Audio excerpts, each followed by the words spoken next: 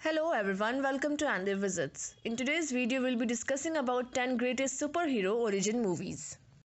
I tried so hard and got so far. Number 10 Doctor Strange. Still considered one of the more original movies in the Marvel Cinematic Universe, we have Doctor Strange. That's still the case even though Doctor Strange's origin story is similar to that of Tony Stark. Thankfully, Benedict Cumberbatch is one of the most charismatic actors of our time. After Dr. Stephen Strange, a renowned and successful surgeon, gets in a car crash and breaks almost all of his bones, he can no longer continue his career. This is why he seeks out a place where his fingers can be healed properly, but instead learns the mystic arts and introduces magic into the MCU. Batman the Christopher Nolan's trilogy is considered the best. Tim Burton's 1989 Batman and its sequel Batman Returns are considered a standard of early superhero movies. Michael Keaton plays Bruce Wayne, who is already successful as Batman and has to face a new villain in Gotham, the Joker, played by Jack Nicholson. The tone of the film is quite dark because the movie tries to ground the story and deal with more complex themes than superhero movies usually do. Kick Ass Kick Ass is quite an unconventional superhero movie based on comics written by Mark Millar, who also created Kingsman and some Marvel comics. The movie also has a sequel that is just as overboard, hilarious, and violent as the first movie.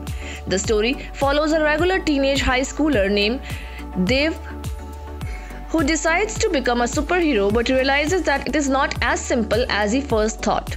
A peculiar thing about Kick-Ass is that both Taylor Johnson and Evan Peters, who plays one of Dale's best friends, played a Marvel superhero named Quicksilver. Batman Begins Though The Dark Knight would undoubtedly be at the top of this list, it's not an origin movie. Batman Begins is. Undoubtedly, Christopher Nolan's trilogy has contributed a lot to the superhero genre and will continue appearing at the top of various film lists. Batman Begins focuses on Bruce Wayne's journey to becoming Batman.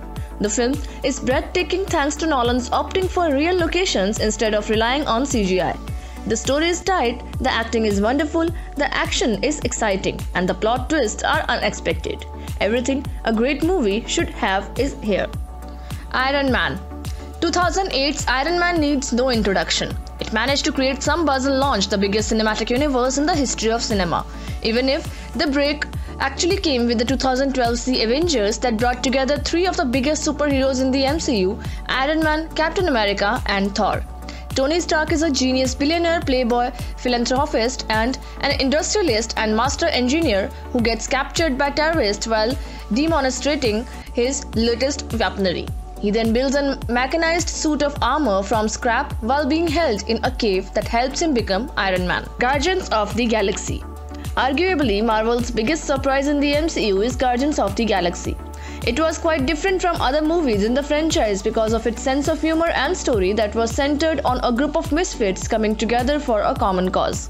James Gunn's direction contribution a lot to the look and feel of the final film, while his song choices enrich the movie. The same can be said about the sequel, but Volume 1 as the 2 are referred to sometimes is still better than Volume 2 by a bit.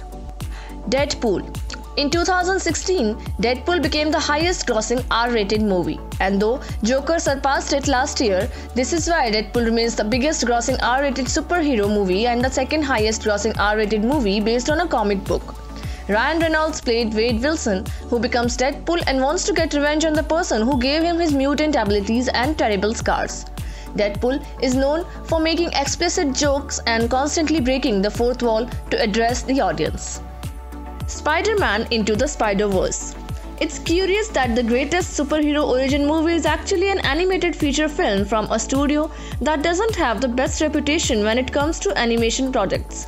Spider Man Into the Spider Verse is one of a kind, which made it one of the biggest hits of the past few years. What is most admirable about it is the animation that makes the film look like it is a comic book that came to life. The story focuses on a regular teenage high schooler named Miles Morales and his adventures as he has to become the new Spider Man and save the world and his new friends.